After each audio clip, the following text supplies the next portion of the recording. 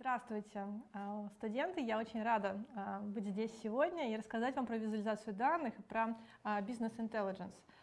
Почему вообще система эта возникла и вообще зачем она нужна?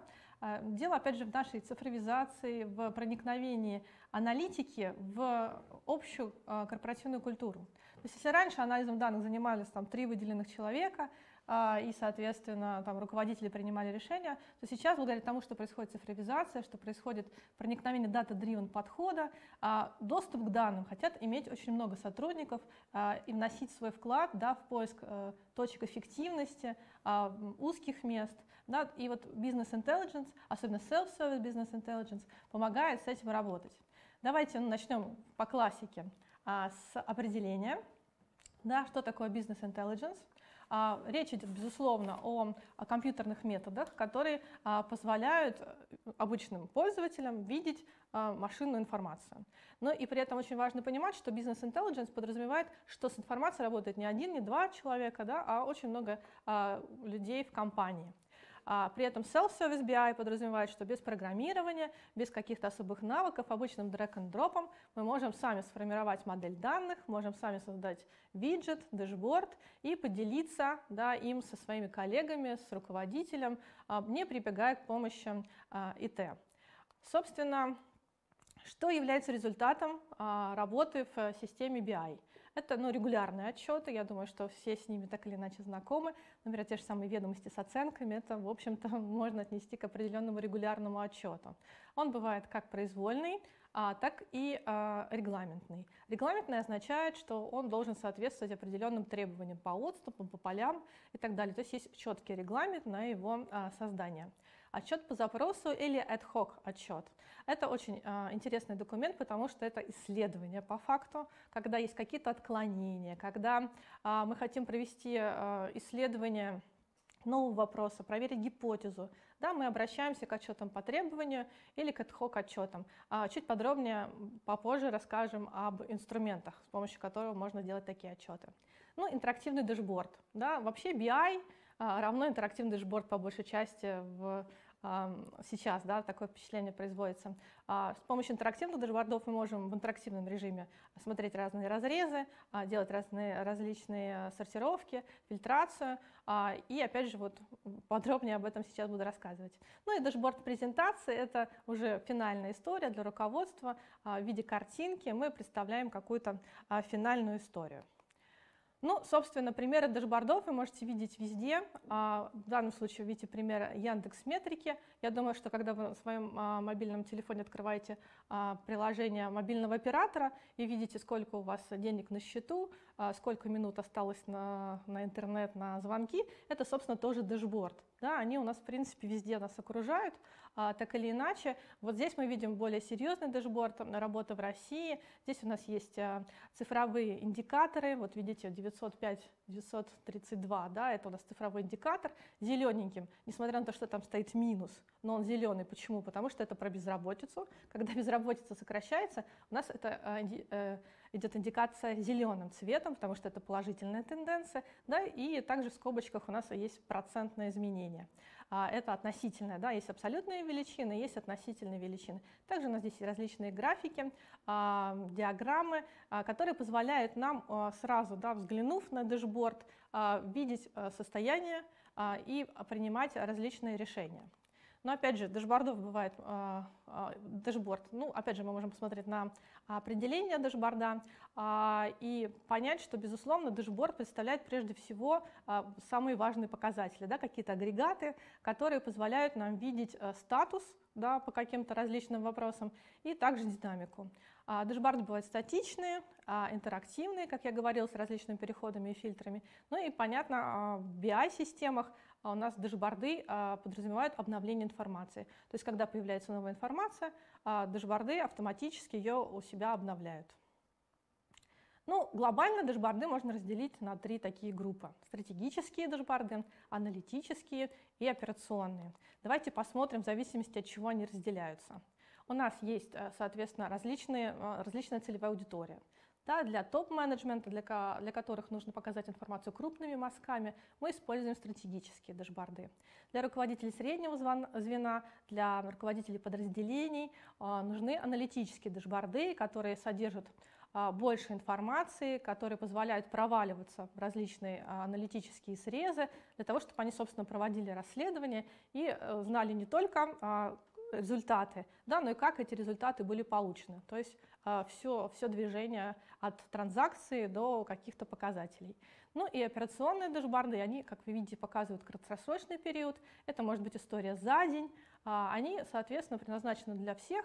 А, говоря об операционных дашбордов, а, например, наш офис находится рядом с офисом Додо Пиццы, и у них на большом экране есть карта России, на которой видно прямо в режиме реального времени, где, когда заказывается, сколько пиц. То есть вот такой пример операционного дашборда, ну вот представлен на телевизоре, но я тоже еще приведу, еще будет вариант. Итак, вот вариант стратегического дашборда. А, это у нас панель губернатора. А, губернаторы должны отчитываться по 20 ключевым показателям. И вот а, один из таких примеров. Вы видите, что есть 20 показателей. И, собственно, мы зелененьким видим положительный тренд, да, результат, и красным то, что у нас не не соответствует нашим ожиданиям, да, отличается от плановых, а, плановых ожиданий. А какие рекомендации есть а, для формирования стратегического дашборда? Ну, опять же, целевая аудитория, прежде всего, для кого он предназначен. В принципе, этот человек, ну, или эти люди, да, они будут диктовать основные э, условия да, для создания такого дашборда. А дальше мы должны понять, что, э, безусловно, стратегический дашборд есть отражение э, достижения стратегических целей компании. Поэтому, безусловно, цели и то, что отображается на стратегическом дашборде, должно э, коррелировать. А, опять же, поскольку это документ, ну, в данном случае приложение для высшего руководства, то здесь большую роль играет дизайн. А, то есть как, собственно, оформлен такой дашборд. И здесь Self-Service BI, опять же, позволяет это делать с помощью drag and drop. Можно настраивать цвета, можно настраивать а, какие-то элементы дашборда, чтобы это было сделано красиво. Ну и опять же, в таких вот э, случаях, когда ну, все-таки серьезное а, изменение темы, да, для нас это, назыв... эта тема называется, когда а, определяются основные параметры внешнего вида дашборда, то здесь можно подключать уже CSS и там JavaScript, HTML. А, собственно, а, какие еще рекомендации можно дать? А, можно использовать прогнозирование. Безусловно, руководителю будет удобно видеть не только исторические данные, какие результаты мы достигли к данному моменту, но и как будет развиваться ситуация, если мы продолжим работать в том же духе. Да, для этого на дашборде можно выводить различные прогнозы. Сейчас мы тоже такой посмотрим пример. Ну и опять же, к стратегическим дашбордам обычно есть сопроводительная записка, где аналитик может отметить те инсайты, какие-то свои выводы, которые он сделал во время подготовки этого дашборда. А сейчас перед вами, собственно, пример дашборда с прогнозом. У нас здесь подключены модели машинного обучения, которые, например, справа позволяют по сотрудникам предположить, вот если они будут продолжить работать в том же духе, как они работали до этого, какой результат будет достигнут до конца года. А, а на основном графике а, мы видим а, прогноз по товарным категориям. Вот те столбики 5, которые бордового цвета начинаются, да, с бордового цвета, это уже прогноз до конца года по товарным категориям. Идем дальше, аналитический дашборд. Как я говорила, аналитический дашборд предназначен больше для руководителей среднего звена, да, которые должны владеть полной информацией о том, что происходит. Поэтому, как мы видим, здесь э, справа очень много различных фильтров. Да, вот в данном случае у нас товарные категории, отдельные товары, офисы. А здесь у нас представлен а, а, график линейный да, по месяцам. Мы можем отслеживать какие-то сезонные отклонения. А, и по годам, да, мы смотрим динамику по годам. А, безусловно, когда мы э, идем к рекомендациям, а, чтобы такой аналитический дашборд сформировать, мы говорим о том, что вот э, временная, временные показатели должны быть разные учтены. То есть можно, нужно смотреть данные вот в разрезе там, дней, недель, месяцев, а, лет, да, иметь на, на графике э, такую возможность посмотреть. Различные разрезы нам нужны. Мы должны а, внимательно продумать структуру такого дашборда, понять, да, какие, какой график нам нужен, чтобы лучше представить нашу информацию. мы должны смотреть, опять же, должны иметь, использовать различные фильтры, да, иметь возможность осуществлять детализацию данных. В, используются два таких как бы, инструмента для детализации данных. Один называется drill down, когда мы проваливаемся внутри графика, например, у нас есть товарные категории, мы нажимаем на drill down и оказываемся в конкретном товаре. Или другой вариант, у нас есть э, года, мы проваливаемся в месяцы, а из месяцев, например, в недели.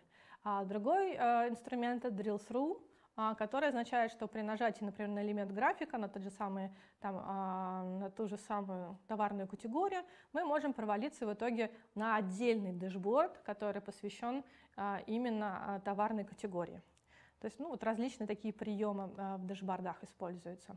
Также мы должны подумать, как мы будем делиться данными.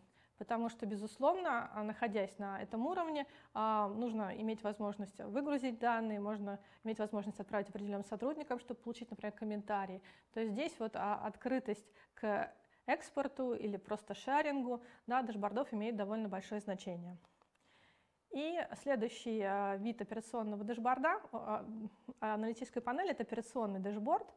Здесь, как я говорила, используется ну, вот на примере мы сейчас видим с вами а, дашборд. А, глобус здесь должен вращаться, здесь у нас нет картинки, да, но вот в реальном исполнении глобус вращается. Этот дашборд использовался для назначения средств встреч с импортерами. То есть была выставка, на которой встречались различные импортеры-экспортеры, было расписание встреч, и, соответственно, а, э, визуализация этого расписания была на этом дашборде. Данные обновлялись каждые 30 секунд, то есть назначалась встреча, и через 30 секунд она оказывалась на этом дашборде. Вот такой а, интересный пример а, визуализации данных.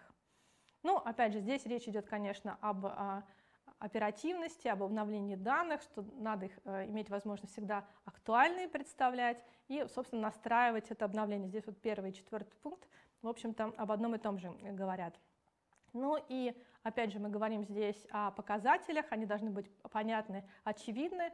Требования к созданию дэшборда – одна тема, один лист, да, то есть как бы стараться, чтобы он э, не вводил в заблуждение, да, и очень четко показывал информацию по одной теме.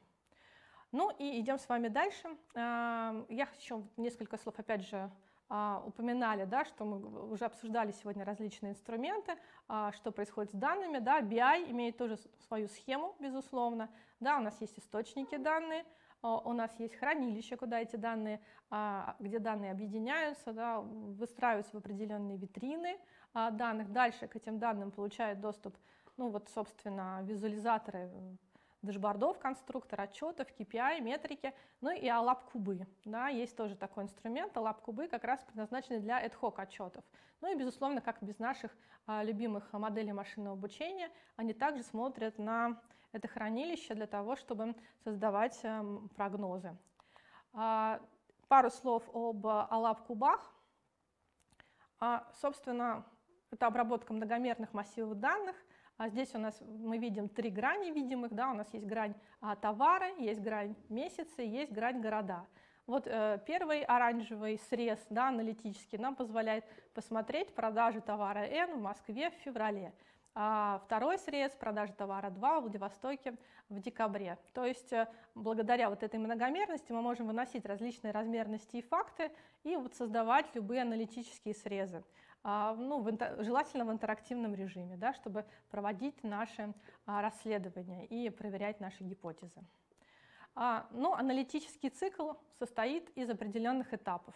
Да, мы начинаем со сбора информации, дальше мы ее анализируем, мы формируем э, замысел нашего аналитического документа, дашборда, отчета, э, дальше мы представляем его руководству, руководство принимает решение, происходит оценка э, нашего решения, ну и дальше, а, опять же, идет постановка целей а, и задач. А, но при этом очень важно понимать, сколько времени уходит на один, ну, на один из этих циклов, да, на один из этих этапов. То есть, безусловно, сейчас по факту сбор информации, ее подготовка занимает самый большой, самый большой промежуток времени. А в идеале, конечно, мы хотели бы стремиться, и это так. Я думаю, что этот тренд э, положительный. Мы будем стремиться к тому, что подготовка данных а, будет занимать меньше времени, и больше мы, конечно, будем тратить времени на аналитику, на прогнозирование, на вот if-анализ, что позволит нам принимать более а, грамотные решения и выуживать действительно в этом потоке информации ценности, которые позволят улучшать бизнес и формировать новые конкурентные преимущества. Ну, собственно, для чего компании внедряют систему BI – а, но, опять же, нужно понимать, что а, система BI позволяет визуализировать данные, которые раньше были скрыты в каких-то базах данных. Да, для того, чтобы к ним получить доступ, нужно обратиться к а, специалистам из IT-отдела. Здесь, соответственно, все данные, да, начиная, опять же, с транзакции до каких-то агрегатов, доступны, и доступны при этом в любой момент. Мы знаем, как они считаются. Да, для всех агрегатов понятна методика расчета, а, ну и все это позволяет нам сформировать вот такую единую точку правды. То есть здесь мы понимаем, откуда взялись данные, почему они именно такие, и они у всех одинаковые. Это очень важно. Но опять же, данные представляются в удобном формате, как мы говорили, что, безусловно, надо работать над дизайном дашбордов, а, смотреть, чтобы они были а, легки в понимании. Ну и BI это все-таки универсальное решение, он подходит для разных отделов, для разных целей и задач, поэтому, опять же, внедрив там BI в одном отделе, очень легко его потом а, перенести в другие отделы.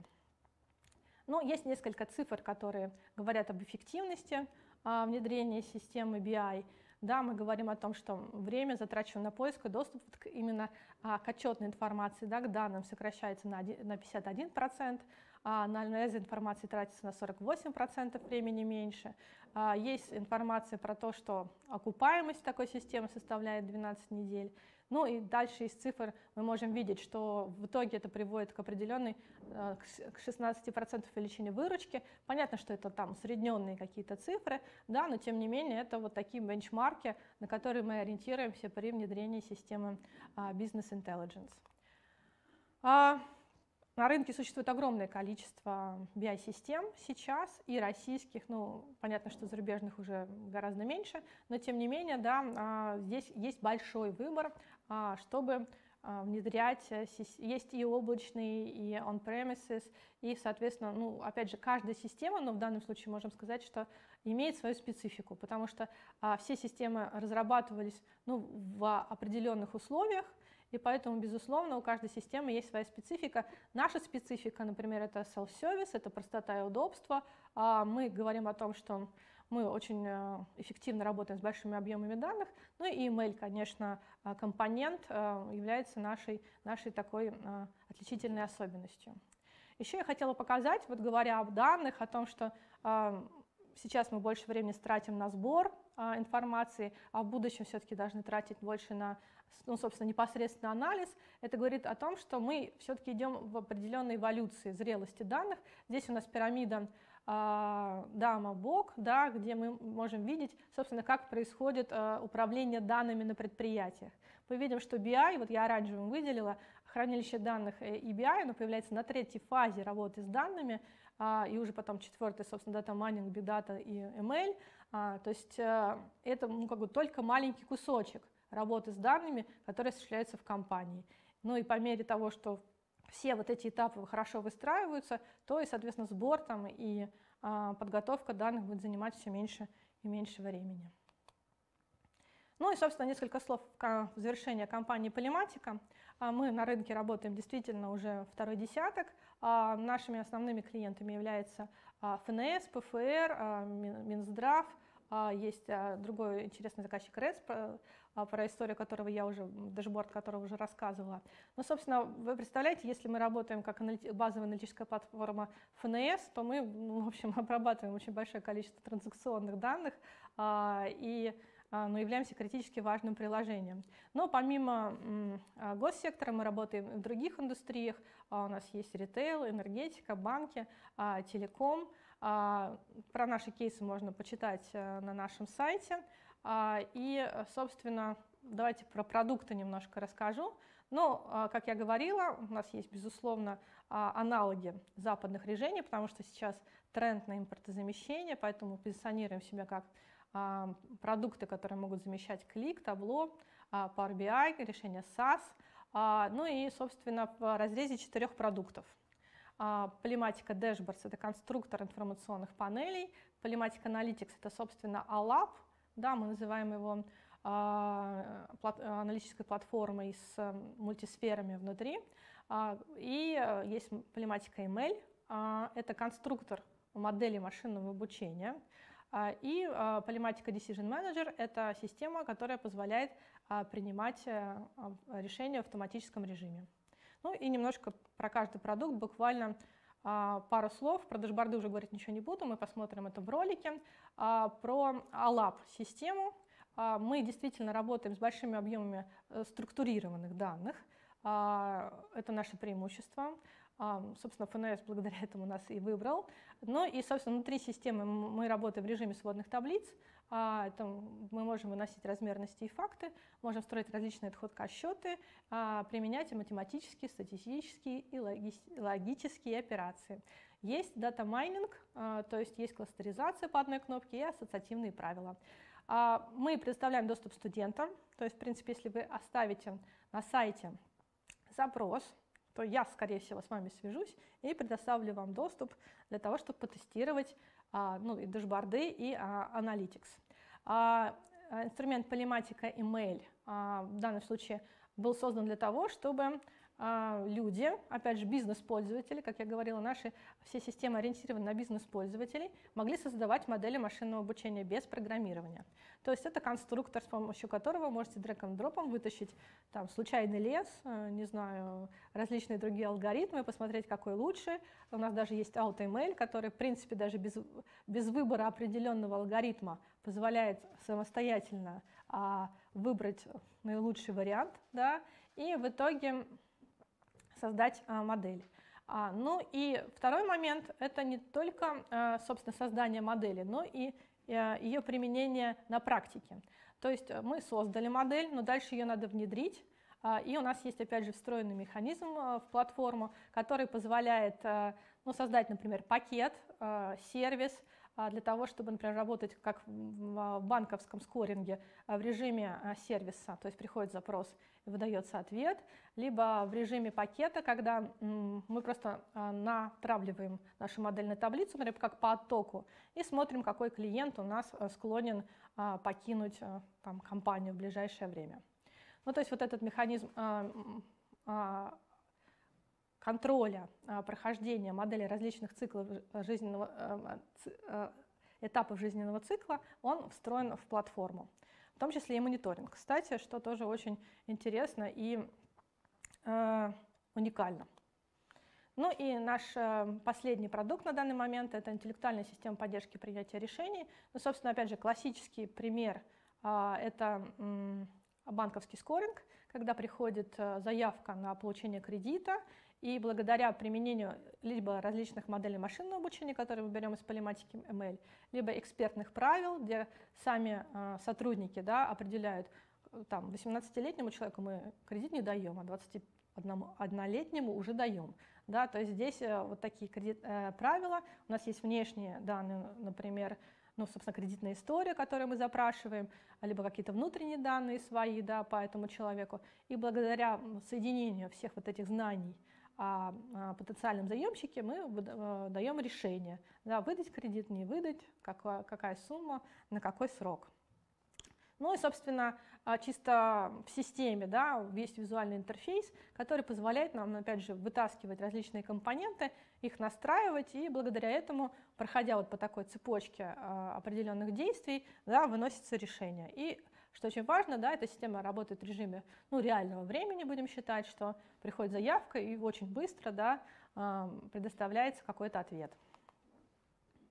Ну, есть различные направления, я уже рассказывала про банк, ну, так, такой же вариант есть про ритейл, например, uh, Next Best Offer, да, довольно популярная история для ML и uh, интеллектуальной системы принятия решений. Uh, у нас, например, сейчас очень интересный кейс в здравоохранении, когда, например, на вредных производствах нужно отслеживать здоровье сотрудников, их очень много, поэтому собираются различные данные с помощью модели машинного обучения, ну, вообще отслеживается здоровье, да, смотрится, кому уже там надо отправить на консультацию, э, кому надо какие-то еще действия предпринять.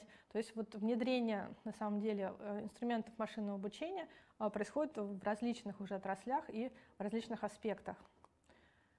Ну, наверное, про преимущества я особенно говорить не буду. Хочу сразу перейти к ролику. А, значит, ну, во-первых, мы занимаем первое место в рейтинге BI-платформ да, по версии CNews.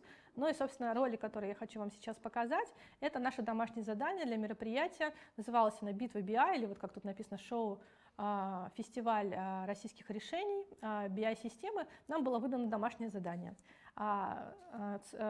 Наши организаторы, они занимаются обработкой, обработкой заявок по, цифры, по газификации. А, то есть вот сейчас есть федеральная программа по всей стране, можно отправлять заявки, а, и тогда вам там газ проведут или там еще какие-то действия сделают. То есть что происходит? Есть заявка, она регистрируется, по этой регистрации заявки должен быть заключен договор, и договор должен исполнен в определенное время. Ну, собственно, вот этот процесс, который происходит с работой с заявками, он а, требует определенного мониторинга. Ну и, собственно, создать такой дэшборд управляющий, который позволяет отслеживать эти заявки, было нашим домашним заданием. Я предлагаю теперь а, перейти к ролику а, и, собственно, посмотреть наши домашние задания, которые мы подготовили для этого мероприятия. Ну и, соответственно, там будет продемонстрирована работа полиматики Dashboards, немножечко будет полиматика Analytics в виде таблицы, вы увидите, и, собственно, полиматика ML для прогнозирования рисковых договоров. Ну и параллельно ждем вопросов тогда, если будут какие-то вопросы. А, буду рада после роликов на них ответить. После ролика на них ответить.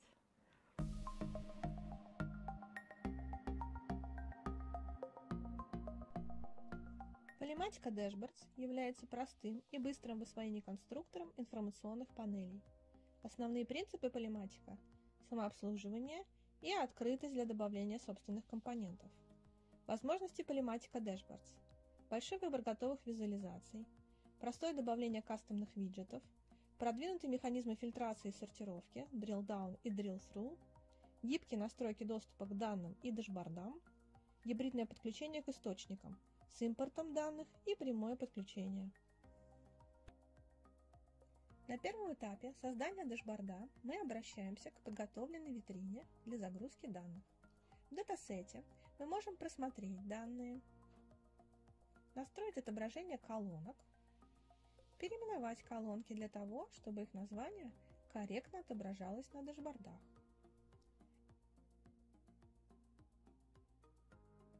Настроить права доступа, в том числе ограничения по строкам.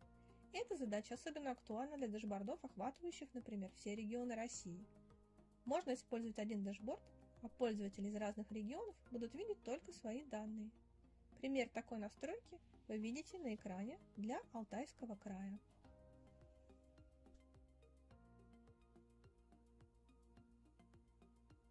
Здесь же можно настроить период для автообновления данных. Сейчас мы находимся в модуле менеджер. Он позволяет управлять другими модулями системы, отвечает за работу с источниками, коннекторами. Здесь же создаются шаблоны фильтров, которые можно переиспользовать в разных модулях и осуществляется управление пользователями. Оно у нас гибкое, благодаря возможности создавать составные роли. Теперь перейдем в модуль Dashboard. Для выполнения задания нам требуется кастомизация внешнего вида информационной панели. Для этого мы создаем пользовательскую тему, настраиваем палитру. В теме используем JavaScript, CSS для настройки цветов, теней, отступов, шрифтов и их размеров. Наша тема называется «Битва BI». Дэшборд для задания практически готов. Не хватает последнего виджета. Входим в режим редактирования. Для этого задания мы используем только готовые визуализации из коробки, в данном случае круговую диаграмму, на которой можно показать структуру заявок. Мы выбрали датасет и перетягиваем нужные поля. Структуру заявок мы покажем с помощью детализации Drill Down. Отсортируем данные по убыванию. Перейдем в раздел «Настройки отображения виджета». Внесем название. Выберем тип Donut. Отображение значений. У нас есть такая настройка, как сжимать маленькие сегменты в один, а легенду мы отобразим слева.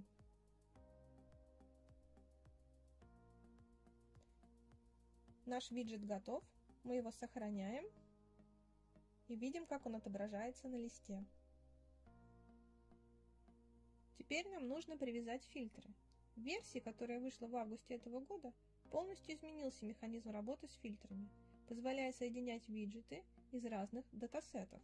Сами фильтры могут создаваться как из датасета, так и вручную.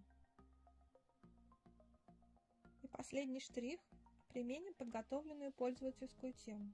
В настройках выбираем вариант Битва BI и видим, как происходит преображение нашего дашборда. Вернемся к виджету с круговой диаграммой, посмотрим на него со стороны пользователя. Нашей задачей является возможность показать структуру заявок по трем направлениям – статус, структуру отклоненных и источники. Через механизм Drill Down мы можем переходить по уровням, просматривая нужную нам информацию. На самом виджете можно сортировать заявки, если хотите изучить значения по возрастанию или посмотреть, как ситуация развивается с переходом заявки с этапа на этап. Согласно техническому заданию, на дашборде есть три основных фильтра и дополнительные по годам. Фильтры создавались из датасетов. Выберем Архангельскую область, индикаторы и три графика перестроились. Мы видим, какие меры социальной поддержки актуальны для этого региона. Фильтры можно настраивать иерархией. Мы видим только районы и населенные пункты, относящиеся к верхнему уровню. Давайте посмотрим, на примере Липецкой области выберем а, три района, чекбоксы нам это позволяют. И в третьем фильтре мы будем видеть только населенные пункты, которые входят в эти районы. Индикаторы, соответственно, перестроились. Давайте снимем фильтры. У нас есть удобное окошко для контроля фильтров на листе дашборда. Дополнительный фильтр по годам позволяет нам выбрать конкретный год для планфактного анализа. Мы видим, что Липецкая область показывает незначительное отклонение факта от плана. Финализирует наш дашборд два графика. Объем мер соцподдержки по годам в настоящий момент для Липецкой области и график топ-5 регионов по просроченным договорам. Мы подготовили рейтинг, а подробности по заявкам мы предлагаем посмотреть в Polymatica Analytics. Здесь можно визуализировать большие объемы исходных данных, по сценарию генерировать различные аналитические срезы, на которые можно попасть по ссылке в системе. Здесь есть все атрибуты заявок, по ним можно сделать фильтрацию и при необходимости полученный срез выгрузить в Excel.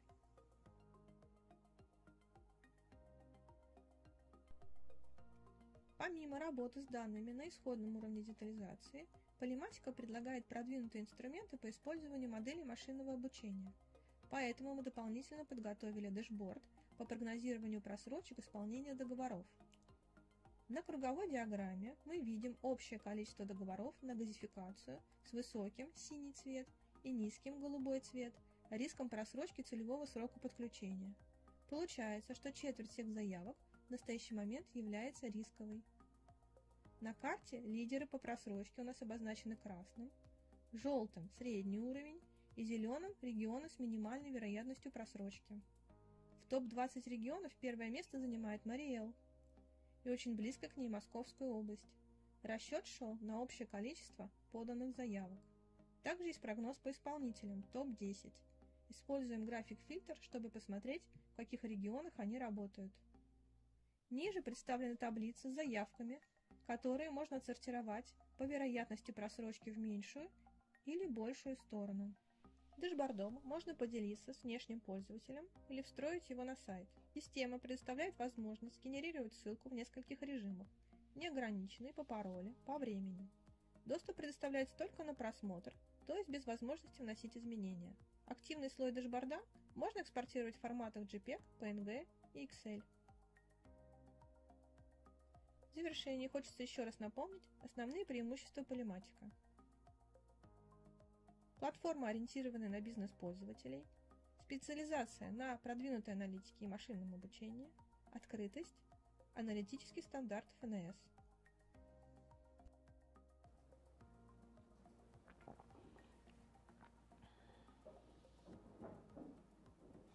Ну что ж, большое спасибо, Наталья, за интересное выступление и ролик, который дал нам возможность посмотреть, как это работает на практике. Для нас это очень важно интересно. Поступил э, ряд вопросов. Э, давайте я их озвучу, чтобы мы могли немножко с нашей аудиторией пообщаться. Вопрос от Михаила Бочарова. Считаете ли вы, что дашборды можно использовать для реализации разведочного анализа данных, в том числе в образовательных системах? И какие средства э, можно для этого использовать?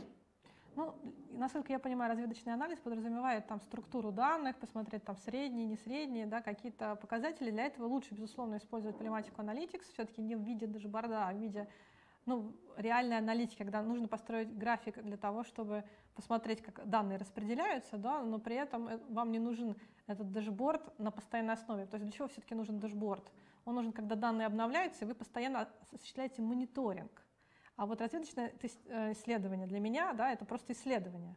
А также у нас есть полематика ML, а, где вообще есть модуль, который называется Data Discovery, он вообще для этого предназначен. То есть вот э, создаются различные там корреляции, а, другие какие-то истории, и вы можете прям посмотреть а, статус данных, да, начиная от профиля и заканчивая различными применениями различных методов. Большое спасибо. В чате идет эм, активная дискуссия между преподавателями и студентами. Всех очень интересует, как можно попробовать. Вот, может быть, вы порекомендуете какую-то модель? Вот, например, преподаватель заинтересовался, хотел бы включить эти инструменты вот в свой курс. А, студенты бы хотели поучаствовать, но э, можно ли сначала попробовать, прежде чем как там, я говорила, во покупать? время выступления угу. вы можете либо оставить заявку, либо писать мне напрямую, можно вывести последний слайд, в моей презентации там мой контакт а, с электронной почтой. А, соответственно, можете сразу мне писать, я буду представлять доступы.